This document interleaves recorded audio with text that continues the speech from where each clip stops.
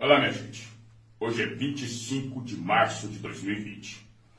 Estou aqui, Fausto Mariano, na condição de prefeito do município de Turvânia, para dar a minha opinião sobre as últimas declarações do presidente da República, senhor Jair Messias Bolsonaro.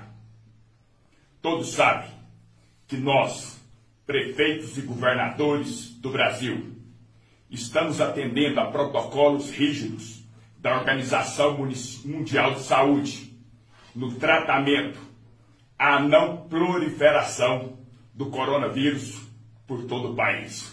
Todos sabem que nós não temos leitos de hospitais, UTIs e respiradores mecânicos suficientes para tratar toda a população se assim adoecerem de uma única vez. Por isso que nós temos que manter a quarentena. Agora, muito me admira um presidente da República atacar governadores e prefeitos, chamando eles de cara pálidas. Veja no dicionário o que significa pejorativamente a, a palavra cara pálida. Então, presidente, a partir de hoje, seu irresponsável, os seus decretos, as suas palavras relativamente à saúde pública não ecoarão no município de Turvânia. Pedir para que crianças vão às escolas, sabe o que, que significa, presidente? Significa elas serem contaminadas pelo coronavírus e assim colocar em risco as suas vidas. As mesmas retornarão todos os dias para casa. Muitos dos seus pais terão mais de 60 anos de idade. Muitas delas são de famílias muito pobres no Brasil e residem com seus avós também será contaminar pessoas, pais, avós, tios maiores de 60 anos, que correrão sérios riscos de morrerem. E no futuro, elas pensarão, inclusive, que elas foram quem contaminaram seus pais e avós. Isso é de uma irresponsabilidade tamanha. E se é uma gripezinha, como você tem tratado essa pandemia mundial, um tremendo de um analfabeto que não conhece nada de saúde pública, não conhece nada de saúde, Infelizmente, eu votei no senhor, apoiei o senhor, mas não nunca poderia imaginar que perante a maior crise que passa o país, você se tornaria uma pessoa tão medíocre. A Constituição da República fala que o nosso bem maior é a vida. Nós temos que proteger primeiro a vida, depois pensaremos em economia. Concorrentemente também podemos pensar em economia, em recuperar este país, Veja o que aconteceu com a Alemanha na Segunda Guerra Mundial em 1945. O país saiu arrebentado.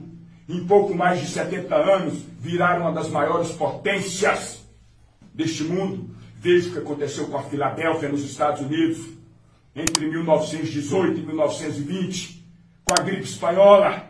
Eles não obedeceram quarentena, não obedeceram às autoridades em saúde pública da época quase que dizimar a sua população. Por que, que você, presidente, por que, que os seus ministros que concordam com você, acima de 60 anos, seus filhos, não vão para a Itália? Fiquem lá na Itália. Vai lá prestar solidariedade ao governo da Itália. Andem lá no meio da população italiana. Não aceitem também tratamento médico da Itália, não. E aí, Sobrevivam lá vocês ao coronavírus. E aí você vai conseguir convencer realmente a sociedade brasileira que é uma gripezinha, seu hipócrita. O que nós precisamos agora é de preocupar com a vida. Você possui mais de um trilhão e meio de recursos em conta. Faça um salário mínimo para o brasileiro. A única forma de conter essa pandemia, como já foi comprovado na China, na Espanha, na Alemanha, em outros vários países, é nós nos mantemos em quarentena. E aqui em Turvânia valerá os meus decretos. E os decretos emanados pelo nosso governador do estado de Goiás, Ronaldo Caiado. Vá para a Itália, presidente, com a sua família. E com todos esses empresários medíocres também, muitos deles acima de 60 anos, que só quer a mão de obra para gerarem riquezas para eles convivem lá com o povo italiano, mas não aceitem um atendimento de saúde. E aí sim, vocês talvez nos convençam, depois de dois meses, que é simplesmente uma gripezinha. E o que eu mais gostaria neste momento era ser governador de um dos estados brasileiros. Que eu ia pegar minha honrada polícia militar, baseado na decisão de ontem do Supremo Tribunal Federal. Eu iria mandar fechar os aeroportos, as rodovias federais e estaduais dentro do meu estado. E aí você, presidente medíocre, teria que insurgir contra mim com as Forças Armadas, nossas honradas Forças Armadas.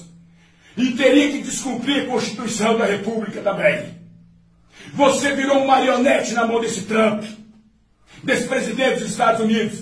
E hoje eu me envergonho muito de ter votado em você, de ter confiado em você para conduzir esse país. Aqui em Turvânia valerá os meus decretos.